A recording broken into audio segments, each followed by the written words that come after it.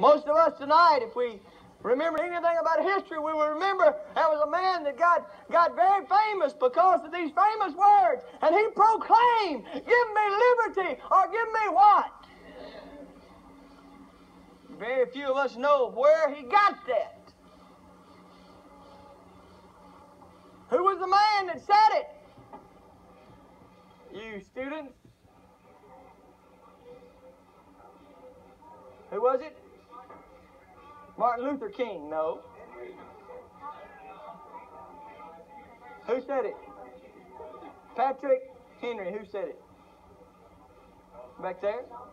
John Paul said Patrick Henry said it. Why did he say such a thing?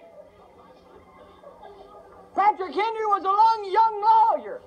And he came through the streets of his city one day, and he saw a man standing on his tiptoes, stripped to his waist, and was tied to a scourging post. And with his with his skin stretched tight, they began to beat this man. And they beat him until they stood back and they could see parts of his rib cage from the back. Patrick Henry, the young lawyer, he walked up to somebody and said, What crime has this man committed? And they said, He's a preacher that would not take license from the state. And he stood the next day and he proclaimed, Give me liberty or give me death.